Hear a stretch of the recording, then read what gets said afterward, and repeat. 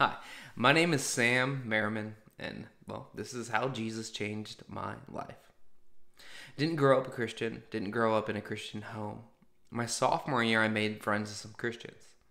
These Christians invited me to a Bible study. So, my junior year, I started going to a Bible study. The reason I started going is because there was pizza and we played basketball.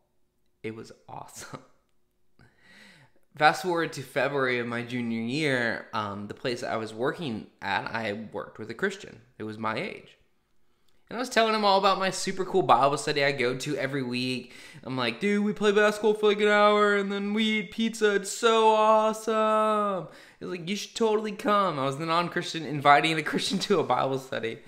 And he says, yeah, I'll come with you on Tuesday. Bible study is on Tuesday. If you come with me to youth group on Thursday. It's a deal. He comes Tuesday, plays basketball with us, eats pizza with us. And then Thursday, we're at work. It's Valentine's Day 2008. And he says, Hey man, you coming tonight? And I was like, uh, um, he's like, dude, you said you were coming. I was like, yeah, yeah, I'll come. So I ended up going to youth group that night. And because it was Valentine's Day, the pastor was teaching about how God is love. And I got there late. And I was like, you know, kind of popular kid, but not super popular in high school, so my appearance mattered a lot to me.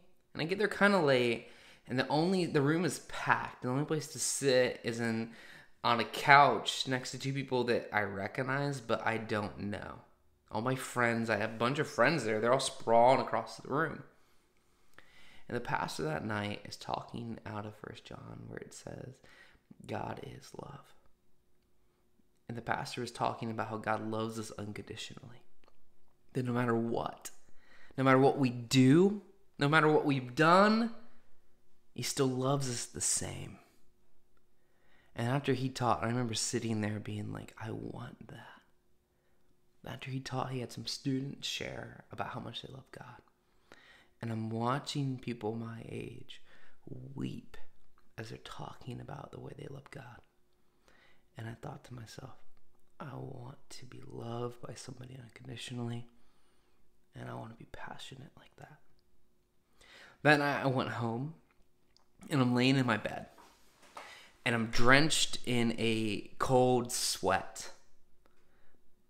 And I remember thinking over and over again if I do this, I'm gonna die.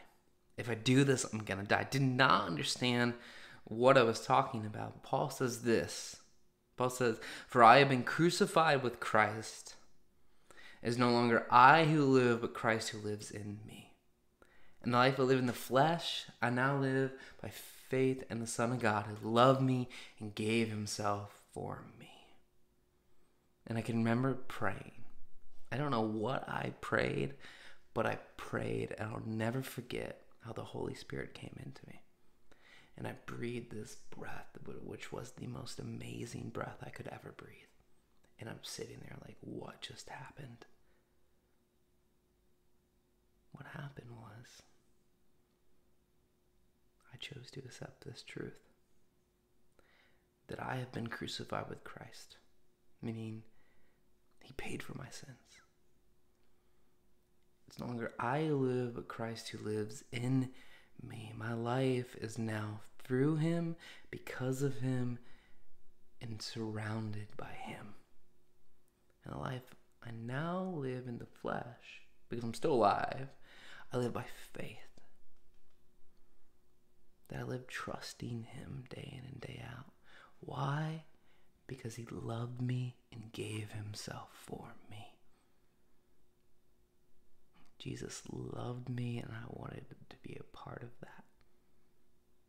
He still loves me. And the invitation stands for anyone. That if you confess with your mouth and believe in your heart, you can be saved as well. And you can experience the love that goes deep, deep, and changes our lives and keeps us secure forever. In short, my my story is that Jesus loved me enough to save me. I'm thankful for that.